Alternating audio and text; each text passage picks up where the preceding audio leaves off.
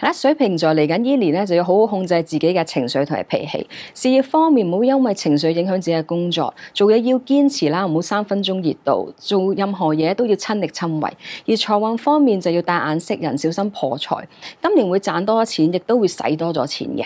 而十月份呢個財運係好嘅，所以就要努力等收成啦。至於愛情方面，今年會比之前係多人追，而同另一半都容易有問題嘅，就有問題唔好逃避，大家要冷静啲去處理。